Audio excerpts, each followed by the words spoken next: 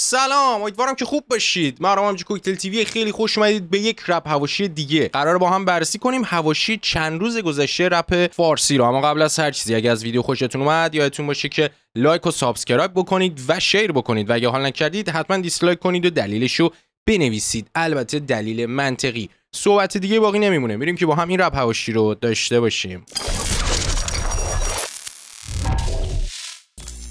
اول از همه می‌پردازیم به دیگر فکت هایی که از پروژه امیری پوتک گفت. فکت اولی که گفت این بود که تیم استانت این موزیک ویدیو کارهای بزرگی مثل رزیدنت اویل میشن ایمپاسیبل جکی جان و جتلیو کار کردن. حالا تیم استانت چیه؟ تیمیه که امنیت و سلامت کسایی رو که قرار کارهای عجیب غریب انجام بدن مثل سقوط و فلان و این داستان های جوره همون بدلکاری رو اینا قراره که تامین بکنن. و همچنین اینکه حالا بدلکار هم خودشون دارن. یه جورایی به نظر میاد که پروژه عجیبیه. یعنی ما توش صحنه هایی رو می‌بینیم که نیاز به بدلکار هم داشته. از طرف دیگه گفت آقا این آلبوم نیست. و از طرف دیگه اومد گفت هیچ رپر فارسی توش نیست. که شاید ذهنیت رو ببره اینجا که اوکی رپر انگلیسی حالا غیر ایرانی ممکنه توش باشه. و نکتهش اینجاست که اگه آلبوم نیست چجوری هیچ ایرانی توش نیست؟ من ترک های مختلف شاید پروژه یه حالتیه که طولانیه و شاید تعداد موزیکی هست که هم چسبیده نمی‌دونیم خلاصه این fact ایی بود که بهمون به گفته. اما امروز یعنی سیوم خرداد ما سامان ویلسون توی کانال تلگرامش گرفت رو کچی بیتز. voice اشو میشنویم. یکی از این رپرها که اولین نفر رفیقم بود تو اعتراضات من unfollow کرد به message داده که یکی از voice های تلگرام تو اگه میشه من بذارم اول یکی از آهنگام. گفتم تو از کی حالا اجازه می‌خوای کسی؟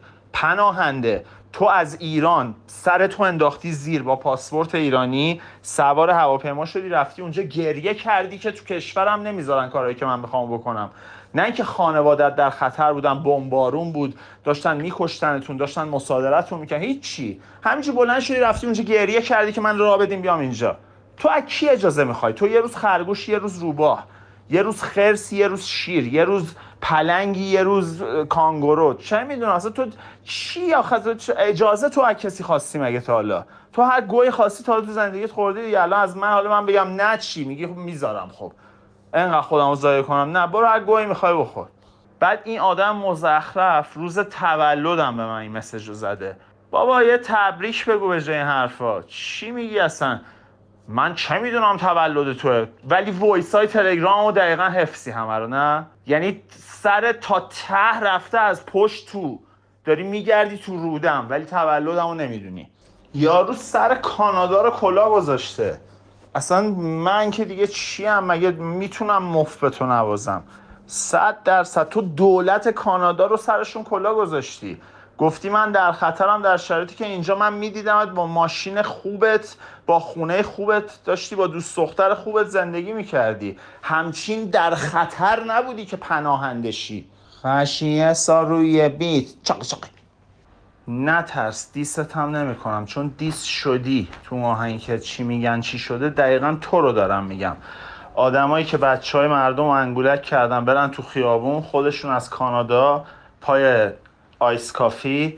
برین تو خیابون بکشین بزنین داغون کنین. حالا الان اونایی که مردن الان اونایی که زندانن یه کدومشون اسمشو تو می‌دونی؟ نه. الان دوباره خب دیگه شرایط فرق داره. الان market ایجاب می‌کنه که ما آهنگای پارتی بخونیم. چی یعنی اینا واقعا؟ چی رو دارین دنبالش میرین؟ حداقل من موضع خودم از اول پاش وایستادم. گفتم آقا نرین داستان میشه. این نه برین. خودم هم نمیام ولی. کنسرتت هم دیدیم دیگه. ریده شد توش نیومدی یه عذرخواهی بکنی. به من ربطی نداره. اون به برنامه گذار ربط داره. من به عنوان یه آرتیست پولمو می‌گیرم. دیوث از طریق استوریای تو مردم بلیت خریدن. رو حساب تو خریدن. نیومدن رو حساب برنامه گذار بخرن که تو این برنامه رو promote کردی. یه معذرت خواهی هم نخورد به این ملت که اومدن مثلا پول دادن بیان توی گوهو ببینن که نتونستن ببینن. کچی بیتز هم بعد از اینکه voice رو شنید واکنششون داد. اول یه متن گذاشت بعدش هم سری voice منتشر کرد. متن رو نمی‌خونیم چون دقیقا همون چیزایی که تو متن بود تو voice اش هست. بنابراین voice ها رو با هم گوش میدیم. yo yo برو بک امیدوارم که حالتون ردیف باشه. من خیلی اهل حاشیه و این کسشرا نیستم. اون تایمی هم که حالا اگه یادتون باشه مثلا battle ا بود و اینا گفتم براش یه پلنی داشتم که اونجوری میمدم حاشیه می‌کردم همون داستانه موسیقی مستقل حالا Spotify و اینا بود. یعنی فکر نکنید حالا هر سری من هر کی بهم تیکه بندازه یه چیزی بگه میام جواب میدم. ولی یه داستانی الان چون عوام فریبی دارن می‌کنن راجبش به من دارن خراب می‌کنن. نه تنها یه سری از آرتیست بلکه سری از رسانه ها بابت اون یه توضیح رو می‌خوام اینجا خدمتتون عرض کنم.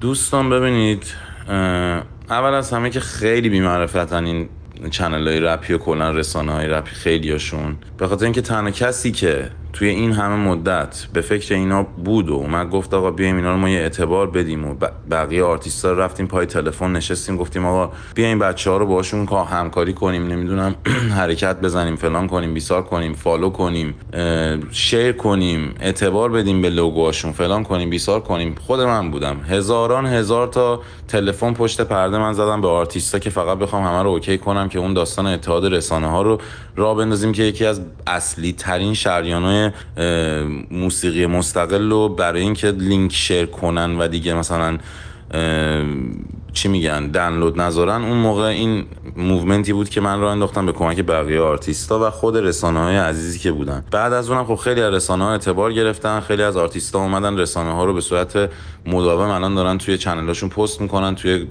اینستاگرامشون پست می‌کنن اعتبار بخشیدن کلی به این رسانه ها و یادشون میره. کلا رسانه ها یادشون میره خیلی بی اومدن یه سری یه سری از حرفای منو کات کات کردن اومدن جاهایی که مثلا منو خراب می‌کنه رو گذاشتم بماند. کلا خیلی بی‌معرفتی حالا این کارو کردید. خارج از اون یه سری بی‌معرفت تر از اونا هم دارن میان از این قضیه الان سوء استفاده می‌کنن که منو خراب کنن. بذار تو چیز بهت بگم. یک من با این کوسچرا خراب نمیشم. توی این مارکت هم گردن کل نسلای رپ فارسی من حق دارم به خاطر کارایی که کردم و ریشه دارم توی این مارکت و خیلی کارا کردم. چه لحاظ حالا ولش کن نمی‌خوام بیام بگم چه کاری کردم. خب حالا هر چی هر کی یادشه یادشه نیستم اصلا برام مهم نیست. مسئله دوم واقعا آدمای فراموشکاری هستید. یعنی کلا انسانهای فراموشکاری هستید شما عزیزان که کلا یادتون میره یه سری مسائل و من چون حالا شما اینجوری هستین منم مثل شما نمیشم. یعنی فکر نکنین حالا منم مثل شما می‌خوام بیام کلا همه چی یادم بره. به خاطر همین من ترجیح میدم که یه سری مسائل فقط توضیح بدم و سعی کنم دیگه قضاوتشو بسپارم دست خودتون. دیگه حالا هر کی هر جوری دلش می‌خواد می‌تونه قضاوت کنه. کنسرت ونکوور کنسرت all age بوده. به ما اعلام کرده برنامه گذار که کنسرت all age ه خود برنامه گذارم confirm ش club گرفته که کنسرت all age ه میریم اونجا نیم ساعت قبل از اینکه برنامه شروع بشه میان میگن ما یه سری از مثلا طرفدار زیر سن رو راه نمیدیم. نه تنها من دو بار معذرت خواهی کردم خب نه تنها من دو بار معذرت خواهی کردم نه تنها من مسئولیتش رو بر گرفتم فقط اومدید تیکه که گفتم به من ربطی نداره رو گذاشتید. اینو کردید پیرن اسمون رو دارید میچرخونید این ور ببینید من وقتی میام میگم به من ربطی نداره بعد مثلا دو شیش ساعت خب توی شیش روز توی سه تا پرواز با حالت هنگ میام میگم به من ربطی نداره ولی من معذرت می‌خوام منظور از به من ربطی نداره این نیست که مسئولیتش با من نیست. منظور اینه که تقصیر من نیست. منظور اینه که من کنترلی روی شرایط نداشتم. خب؟ حالا من بعد اینو توضیح دادم شما هم که خوشتون میاد از انکره بگیرید. خب حالا بگیرید مشکل نداره. ولی من در هر صورت نه تنها معذرت خواهی کردم بلکه اومدم گفتم که آقا من تعاطوشو در میارم ببینم قضیه چیه. الان برنامه گذار داره تمام بلیت هایی که دوستانی که نتونستن بیان تو داره ریفان می‌کنه پشت پرده داره برای میفرسته. من خودم با بچه ها در ارتباطم با دوستشون تلفنی حرف زدم و نمی‌دونم دیگه خدمتتون ارز کنم که حتی قول برنامه فری رو برنامه گذارها به دوستانی که بلیت گرفته بودن بیان و نتونستن بیان یعنی نتونستن تو بیان دادن و همه اینا. یعنی ما نه تنها مزد خواهی کردیم بلکه دو بارم کردیم. بلکه بعدش پولشون هم برنامه گذار داره ریفان می‌کنه. بلکه یه برنامه فری هم دارن به دوستان میدن. چون من واقعا خودم شخصا تو همونجا هم گفتم. گفتم من عاشق کسایی هم که منو دوست دارن. به خاطر من پاشدن اومدن تو این کنسرت. دست تک تکشون رو میبوسم. تو خود کنسرت ما حالمون بد بود. تو خود کنسرت واقعا به من حال نداد. خود بچههایی که تو کنسرت بودن خودشون دیدن ما چند بار جای بچه ها رو خالی کردیم و هر چیز دیگه و تمام تقصیرات گردن کلاب و پالیسی کلاب بوده. خب؟ و ما حتی اومدیم با این شرایط هم باز هر جوری شده داریم سعی می‌کنیم دوستانی که لطف کردن زحمت کشیدن تشریف آوردن و چیکار کنیم؟ راضی نگه داریم با خیلی هاشون من در تماس هم مثلا یعنی این که شما میایین اینجا این کسشعرا رو میگین خودتون رو دارین کیر می‌کنین. چون خود اون آدمه وقتی voice تو رو میشنوه میگه این کسشره که مثلا ساعت چهار صبح اون روز مثلا به من زنگ زد. تلفنی با شماره شخصیش. الان من شماره شخصیش رو دارم دارم با خودش پیگیری می‌کنم مثلا. پس خودتون رو کیر نکنین. این از این. من عاشق فنامم. واقعا هم تمام کسایی که تا الان کنسرت من اومدن یا حالا کنسرت مشترک من با ایسم یا حالا کنسرت های با بچه دیگه اومدن خودشون می‌دونن من چه عشقی بهشون دارم و چقدر دوستشون دارم و همه این حرفا. پس سعی کنین که لطفا عوام فریبی نکنین. مسئله بعدی هم این که من کلا کاری به کسچره که سریا میان راجع من میگن توی پابلیک و توی آهنگ و توی نمی‌دونم پادکست و توی یوتیوب و توی پشت سرم جلو آرتیست دیگه و اینا کلا خیلی وقت ندارم. مثلا دیگه واقعا برام خیلی مهم نیست. واسه همین داداش تولد مبارک. ایشالله که خیلی تولد خوبی داشته باشی. و امیدوارم که سلامت باشی همیشه شاداب باشی. عوام فریبی نکنی و من همیشه هم انقدر منطقی و اینا نیستم.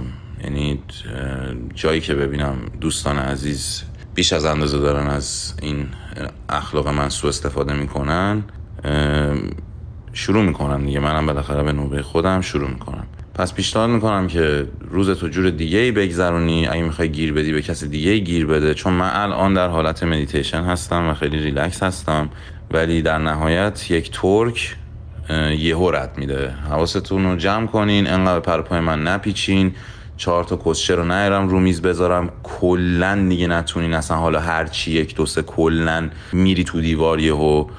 یعنی همین چهار تا پنج تا آدمی هم که الان دارن گوش میدن دارن دنبال می‌کنن اون چهار تا پنج تا هم نپرونم. یعنی حواستون رو جمع کنین. یهو چهار تا چیز نگین منو اینجوری انگولک کنین یهو قاطی کنم بیام فکت بگم. یه جوری میگی انگار ما بی معرفت بودیم مثلا تو رو هم فالو کردیم اول مثلا تظاهرات ها و نمی‌دونم چی چی و چی چی و چی چی و حالا هر چی.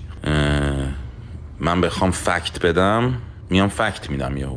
یعنی واقعا انگولک نکنید منو. بذارید من اینجا زندگی بکنم واقعا اینجا الان اصاب مصاب ندارم. من بیام بچستم به این کسچرهای بچگونه شما. یعنی خیلی حواستون رو جمع کنید. چون اصلا حوصله این کسچراتون رو ندارم. یه درصد دوباره ردمت میدم روتون خیلی حواستون رو جمع کنید. در آخرم بذارید بگم. اول از همه که من هرچی هم داشتم زندگی خوب داشتم دارم.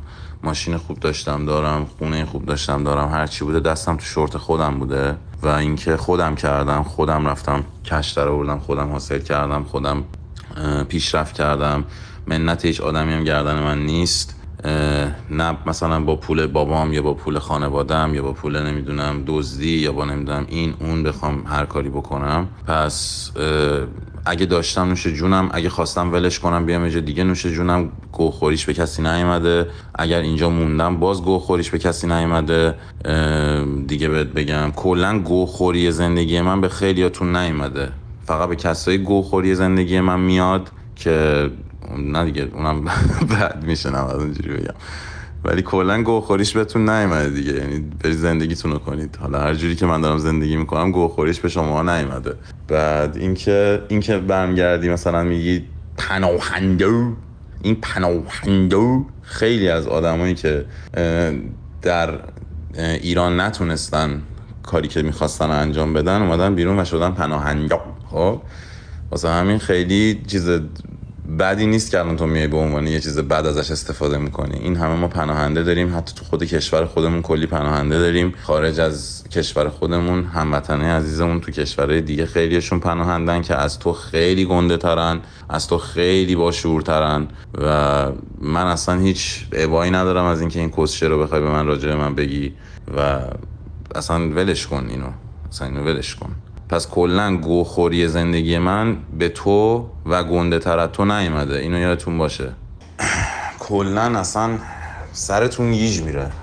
از به سن و اینا هم ربط نداره ها. یعنی طرف مثلا 39 سالشه سرش گیج میره انقدر ما بهش احترام گذاشتیم. یا مثلا مراعات حالشو کردیم. طرف مثلا 16 سالش سرش گیج میره اگه ما مثلا یه حرکتی براش زدیم یه credit ی بهش دادیم یا رو مثلا سرش گیج میره اگه ما یه حالی بهش دادیم. کلا هر مو... بعد همشون میگن هیچکی نمی‌کنه هیچکی نمی‌کنه. بعد من کسخل میام مثلا احتراممو می‌ذارم ریسپکتمو می‌ذارم مثلا حالمو میدم مثلا مرا و معرفت واسه آدما می‌ذارم فلان و اینا. بعد همه جالبیش اینه که سر من سرشون گیج میره. بعد الان می‌فهمم چرا خب هیچکی نمی‌کنه. چون کسخل نیستن که. یکی یه سری کلا میگن به کیرم کار خودشونو می‌کنن. یه سری هم میان میگن که مثلا نه و چرا باید کون فلانی رو گنده کنم؟ یا مثلا چرا باید به فلانی الکی اعتبار بدم؟ یا فلانی. ما همیشه کسی که به ما یه قدم برداشته رو احترامش رو نگه داشتیم. ولی متاسفانه باز سرتون گیج میره. یعنی ما هر کاری کردیم سرتون گیج رفت. به پایین تر خودمون بها دادیم سرش گیج رفت. به اندازه خودمون بها دادیم سرش گیج رفت. به بالاتر اعتبار دادیم سرش گیج رفت. کلا سرتون گیج میره. یعنی با من حداقل همه اینجوری هن. سرشون گیج میره همه. و در آخر یه چیزی هم ما بده کار میشیم. خیلی جالبه که همیشه از من می‌خوان و یا حالا نخواسته من یه حالی میدم به کسی و بعد یه ذره که مثلا طرف میره جلو و اینا یا یه ذره از این موقعیت میگذره همه سرشون گیج میره. من همچنان شخصیت خودم نگه میدارم همون شخصیت سازنده و همونی که می‌خواد با همه کار کنه و همون که دوست داره همه پیشرفت بکنن و بخیل نیست و من شخصیتمو همونجوری نگه میدارم ولی شماها واقعا کسخلید هاجی یعنی ساما من فکر می‌کنم تو تنها آدمی که توی این مارکت دو تا ریسپکت بهت داد بعد از اون داستانا هم باز من تنها کسی که داد من بودم. بعد باز دوباره اومدی پاچه منو داری می‌گیری. یعنی تو که خیلی کسخلی اصلا تو اصلا تو که کسخلی حاجی. بقیه‌تون هم که یه سری دیگه هم که اصلا ولش کن. الان مثلا بحث مال اونا نیست. کلا می‌خوام بهتون بگم یه ذره حاجی کلا یادتون بمونه همه چیو. می‌دونی؟ یعنی ما یکی برامون یه حرکت می‌زنه از 800 کیلومتر اونورتر برای یارو یه گل میفرستیم. میگیم داداش دمت گرم برای یه همچین حرکتی زدی. شماها رو آدم زندگیتون هم عوض بکنه باز سرتون گیج میره. میاد میگید ما هم خودمون کردیم. نمی‌دونم فلانی کیه بابا پشت آدم میشین حرف می‌زنید. و واقعا این کارهای شما باعث میشه چرخه کردیت دادن و چرخه احترام گذاشتن و چرخه ریسپکت به مثلا پیشکسوت و همه این داستان این چرخه ها رو خودتون بگامیدید یعنی خودتون تنها کسایی که باعث و بانی اینن که این سیستم بگا رفته خودتونید. می‌دونید چی بهت میگم؟ نکنید. یه ذره واقعا یه ذره یادتون بمونه. کلا یادتون بمونه یه ذره. من هنوز زیادم مونده که چه کسایی دستم رو گرفتن و همیشه بهشون احترام گذاشتم. حتی امروزم نمی‌خواستم جواب تو رو بدم. به خاطر اینکه تو از من قدیمی تری پیشکسوتی من خودم دوست داشتم کارهای تو رو همیشه نمی‌خواستم. ولی دیگه دیدم عوام فریبی داریم. یه بارم دو دو سه ماه پیش اومدی کسشر گفتی. یاد باشه منم تو پی وی بهت گفتم داشت ول کن کسشر چیه داری میگی؟ بی خیال شو. حالا تو فکر کردی ما خواهش رو نداریم با تو دهم به دهم بذاریم که الانم حتما به خاطر همین دوباره شروع کردی دیگه. ولی کلا دارم بهت میگم آقا شماها یادتون میره همتون. تو کوچیکتر از تو وسط تو همه جاتون یادتون میره.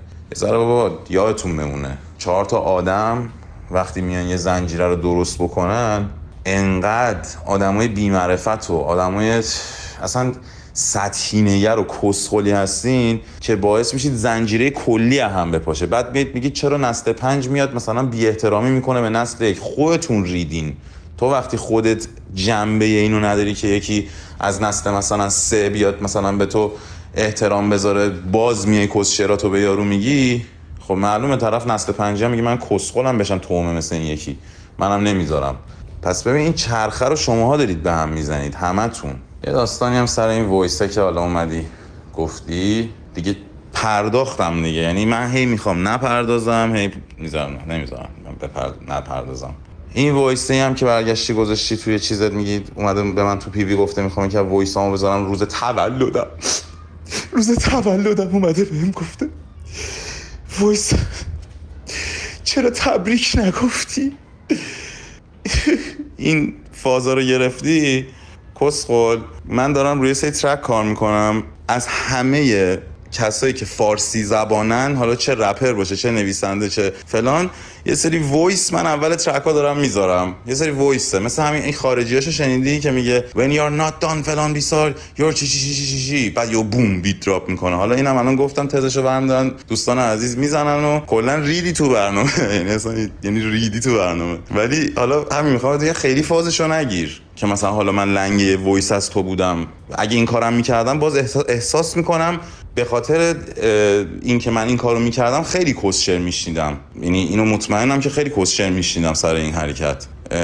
ولی باز داشتم این کارو می‌کردم چون آدمای مختلف بودن. یعنی اصلا یعنی concept این نبود که حالا من دارم چیکار می‌کنم. ولی باز این که تو میای اینو میگی یعنی داری باز رو چیزای خودت پا می‌ذاری. من روباه مکارم که مثلا اومدم دولت کانادا رو گول زدم ولی تو یه کسخلی هستی که رو باورای خودت هم پا می‌ذاری. اون باور چیه؟ تو مگه نیومدی گفتی هر کسی تو PV بیاد یه چیزی رو ورداره نمی‌دونم screen بگیره بذاره اونجا یا بیاد اون بحث PV رو بکشه وسط تو public بگه چاقاله یه همچین چیزی گفته بودی؟ یادته تو خودت کسخلی. اصلا یعنی من من روباهم ولی تو کسخلی. اینم آخرین voice ی که می‌ذارم کلا برای اینکه دیگه تکلیف این موضوع رو برای خودم مشخص کرده باشم برم به بقیه روزم برسم. اینه که واقعا اگه خواستی به من امروزم نمی‌خواستم جواب تو بدم. به خاطر اینکه دیدی آب گل‌آلوده خواستی ماهی بگیری و دیدی چهار تا رسانه دارن منو خراب می‌کنن و تو هم یه عقده یا یه جا کردی یا یه جا ناراحتی می‌خواستی منو بیای کیر کنی اومدم جواب تو دادم. و یا نه در غیر این صورت جواب تو اصلا نمی‌دادم. اگه دقت کرده باشی دو سه بارم بهم کسشر گفته بودی نه شامپوات هتل نیست و نه این کسشر اومده بودی گفته بودی جوابتو ندادم. الانم واقعا نمی‌خواستم جوابتو بدم. ولی اینو الان بهت میگم. واقعا اگه خواستی دفعه بعدی من جوابتو بدم یعنی من بعد این voice واقعا کاری بهت ندارم. ولی اگه باز خواستی من جواب بیا دوباره یه سری کسشر عوام فریبانه بگو. اگه دنبال impression ی که اگه به اینجا رسیدی که دنبال impression ی که اصلا دیگه اصلا نمی‌دونم چی بگم. یعنی اصلا دیگه ولش کن. ولی واقعا اگه دنبال ایمپرشنی خواستی من دوباره جواب بدم باید بیا چیکار کنی؟ باید بیا یه سری کوشر دوباره ببافی واسه خودت.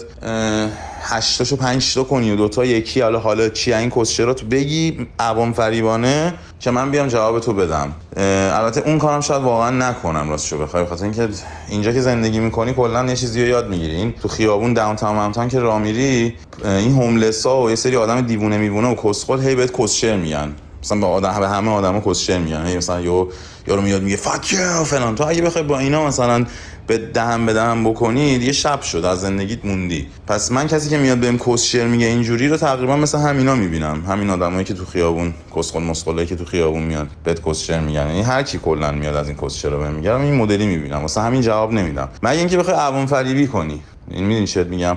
اونم بازم میگم شاید نکنم. چون اون هوملس هم وسط خیابون شاید یهو برگرده داد بزنه بگه این دزده فلان. باز من باید بگیرم به کیرم حرفای شما رو. نمی‌دونم یا بگه نمی‌دونم. این کچله باز من می‌گیرم به تخمم. این فلانه باز من می‌گیرم به اون یکی تخمم. یعنی هر چی بگی باز این هی تو همین چرخه تخمای من گیر می‌کنه هر چی بگید. می‌دونی چی میگم؟ یعنی کوسچه رو شما می‌سازید کلی فکر می‌کنید پشتش میفرستید تو چرخه. اینجوری یه دونه می‌خوره تخم چپ 20 امتیاز می‌گیره میره می‌خوره تخم راست 5 امتیاز می‌گیره بعد یهو می‌خوره به دوباره به تخم چپ. همینجوری هی تو اون چرخه گیر می‌کنه. هی بگید حالا هر کوسچری دارید بگید.